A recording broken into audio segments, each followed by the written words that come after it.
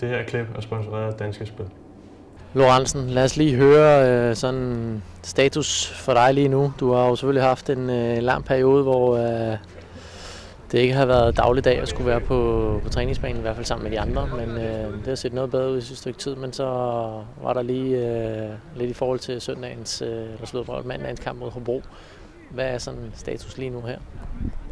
Jo, men altså, jeg er med igen på træningsbanen i dag. Det var to dage, tre plus fridagen udenfor, og en, en hofte, der, der har lavet for mange øh, øh, standardsituationer, dødbolde, spark, øh, og, og det skal den jo vende sig til, når man har været ude i halvanden år. Ikke? Så det var en lille form for overbelastning, som vi tog i opløbet, i stedet for at, at køre på og køre videre, så det tog flere dage. Så det er jo de ting, man må acceptere undervejs, men jeg har det fint nu og, og træner på, på livet løs igen.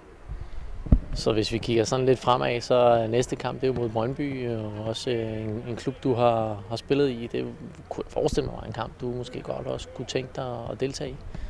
Jo, helt sikkert. Og specielt nu, når man er ude så længe, så vil man deltage i alle kampe, men øh, ja, øh, meget gerne, også fordi de er altid sjove, når Brøndby eller FCK kommer på besøg, jamen så, så er der ekstra gang i den på hjemmebane. Øh, og sådan tror jeg, at alle, øh, alle hjemmehold har det, når de kommer. Øh, men ja, jeg har været der selv, og det er altid sjovt, hvis man, man kan slå sin tidligere hold. Øh, så, så jo, jeg vil gerne være en del af det.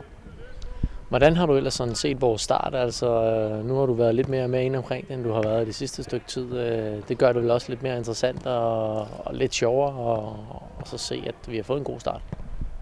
Jo, helt sikkert. Og man kan også mærke på, på truppen, at, at vi har tro på tingene, øh, men stadig har benene på jorden.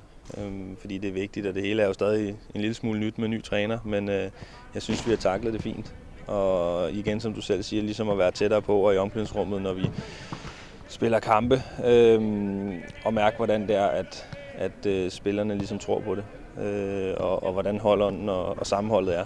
Øh, så synes jeg, det ser rigtig fint ud. Øh, og ja, det er meget mere spændende at sidde dernede i omklædningsrummet, end at sidde oppe på tribunen, når det hele går løs. Hvis du sådan skal skrive et øh, drømmescenarie for den kamp, vi, vi spiller mod Brøndby, hvordan vil det så se ud? okay, jamen så, øh, jamen så skal vi selvfølgelig vinde.